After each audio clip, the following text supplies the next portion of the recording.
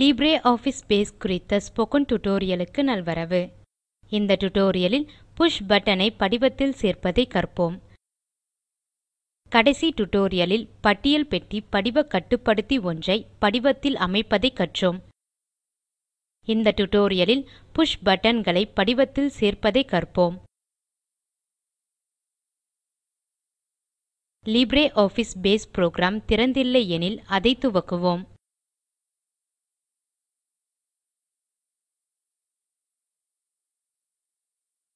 நம் லைப்ரரி தரவுத்தளத்தை திறப்போம்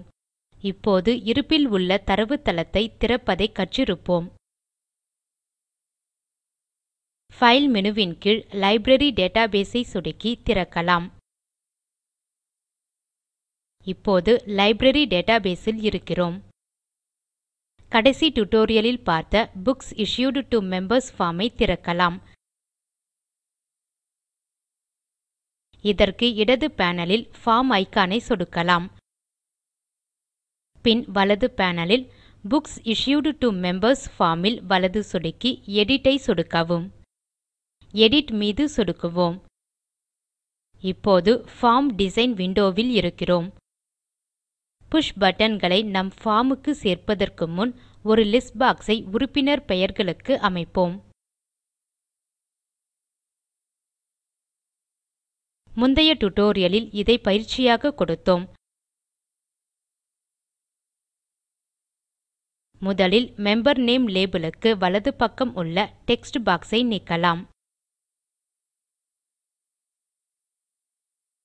டெக்ஸ்ட் பாக்ஸ் ல் வலது சொடுக்கி கீழே உள்ள கட்டை தேர்ந்தெடுக்கலாம் டெக்ஸ்ட் பாக்ஸ் போய்விட்டது அடுத்து பார்ம் எலிமெண்ட் களை சீர் செய்வோம் லிஸ்ட் boxகளுக்கு டெக்ஸ்ட் boxகளை விட அதிக இடம் வேண்டும் ஆகவே இந்த பார்ம் elementகளை படிவத்தில் கீழே கொண்டு போகலாம் இப்படித்தான் செய்ய வேண்டும் முதலில் புக் டைட்டில் லேபிளுக்கு கீழே எல்லா ஃபார்ம் elementகளையும் தேர்ந்தெடுக்கலாம் இதற்கு சொடுக்கி இழுத்து விடும் முறையை பயன்படுத்தலாம் அடுத்து தேர்ந்தெடுத்த இடத்தை சொடுக்கிப்பிடித்து செங்குத்தாக கீழே இழுக்கலாம் புக் டைட்டில் லேபிளுக்கு பக்கத்தில் இருக்கும் முதல் லிஸ்ட் பாக்ஸுக்கு போதிய இடம் இருக்கும்படியாக இப்போது அதை மெம்பர் நேம் லேபிளுக்கும் செய்வோம்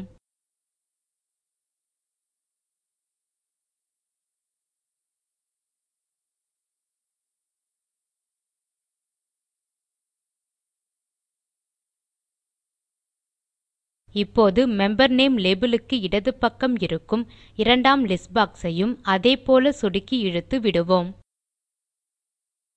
அதை வலது பக்கம் கொண்டு போய் மற்ற ஃபார்ம் கன்ட்ரோல் களுடன் பொருந்துமாறு செய்யலாம் விரைவு விசைகள் Ctrl ஸ் ஐ பயன்படுத்தி மாறுதல்களை சேமிக்கலாம்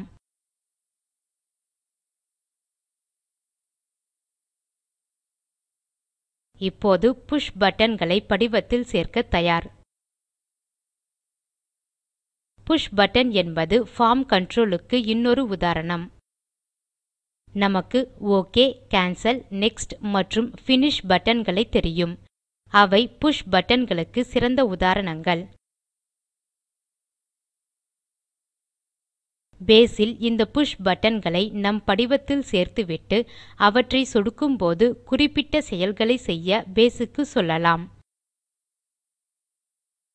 மேலும் சேவ் உண்டோ அல்லது டிலீட் ஆகியன இன்னும் சில உதாரணங்கள் எப்படி என பார்க்கலாம்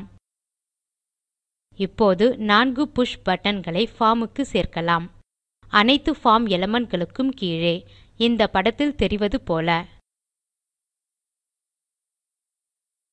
இதற்கு பார்ம் டிசைன் விண்டோ க்கு போகலாம் form control toolbar push button சின்னத்தின் மீது சொடுக்கவும் இந்த சின்னம் ஓகே என்று எழுதிய பட்டன் போல இருக்கிறது மாஸ் பாயிண்டர் கூட்டல் குறி போல இருப்பதை கவனிக்க இப்போது கீழே இடது பக்கம் நம் முதல் பட்டனை வரையலாம் படிவத்தில் மற்ற எலமெண்ட்களுக்கு கீழே அதை சொடுக்கி இழுத்து விடுங்கள் தேவையான மறு அளவும் செய்யலாம்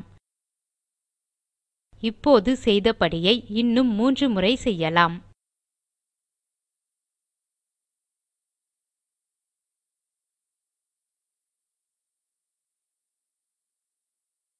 இப்போது ஒரு கிடைக்கோட்டில் மூன்று பட்டன்கள் ஒழுங்காகி இருக்கின்றன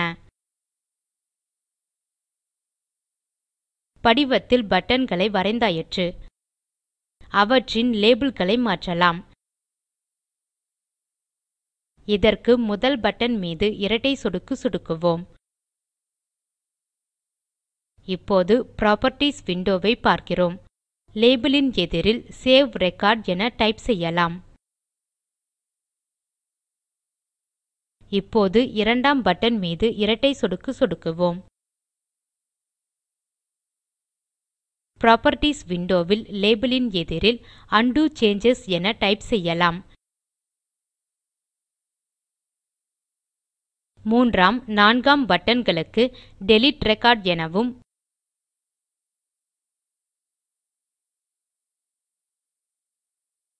நியூ ரெக்கார்ட் எனவும் முறையே டைப் செய்யலாம்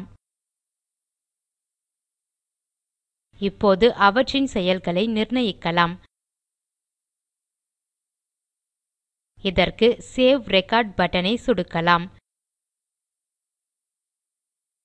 புராப்பர்ட்டீஸ் விண்டோ ஸ்க்ரால் செய்து ஆக்ஷன் லேபல் கண்டுபிடிக்கவும் இங்கு கீழிறங்கும் லிஸ்ட் பாக்ஸில் சேவ் ரெக்கார்ட் மீது சொடுக்கலாம் இதேபோல மீதி மூன்று பட்டன்களுக்கும் செய்யலாம் உண்டோ சேஞ்சஸ் பட்டனுக்கு க்கு உண்டோ சேஞ்சஸ் செயலை தேர்ந்தெடுக்கலாம்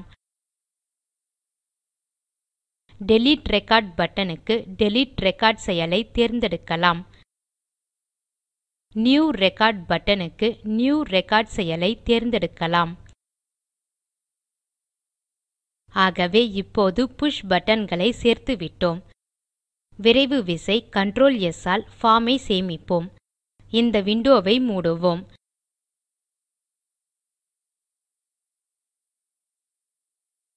அடுத்த டியூட்டோரியலில் நம் ஃபார்முக்கு இன்னும் மூன்றே மூன்று மாறுதல்களை செய்யலாம் அதன் பின் பார்ம் ஐ தரவு உள்ளீட்டுக்கும் மேம்பாட்டுக்கும் பயன்படுத்த இயலும் உதாரணமாக ஒரு நூலக உறுப்பினர் ஒரு புத்தகத்தை திருப்பும்போது இந்த பார்ம் ஐ கொண்டு தரவுத்தளத்தை மேம்படுத்த இயலும் உங்களுக்கான பயிற்சி இதோ படிவத்தில் ஐந்தாம் புஷ் பட்டன் ஒன்றை நான்காம் பட்டனுக்கு அருகில் இடவும் சொடுக்கினால் அது பார்ம் ஐ புதுப்பிக்க வேண்டும் அடுத்த வரியில் நான்கு குறுகிய புஷ் பட்டன்களை இடவும் அவை பதிவேடுகளுக்குள் நகர உதவ வேண்டும்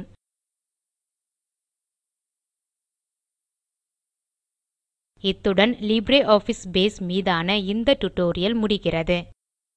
சுருங்க சொல்ல பார்ம் க்கு புஷ் பட்டன் களை சேர்ப்பதை கற்றோம் ஸ்போக்கன் டியூட்டோரியல் பாடங்கள் டாக் டு எ டீச்சர் திட்டத்தின் முனைப்பாகும் இதற்கு ஆதரவு இந்திய அரசு துவக்கிய மார்ட் இன் ஐசிடி மூலம் தேசிய கல்வித்திட்டத்தின் வழியே கிடைக்கிறது இத்திட்டம் spoken hyphen tutorial dot org ஆல் ஒருங்கிணைக்கப்படுகிறது மேற்கொண்டு விவரங்கள் எங்கள் வலைத்தளத்தில் கிடைக்கும் தமிழாக்கம் கடலூர் திவா நன்றி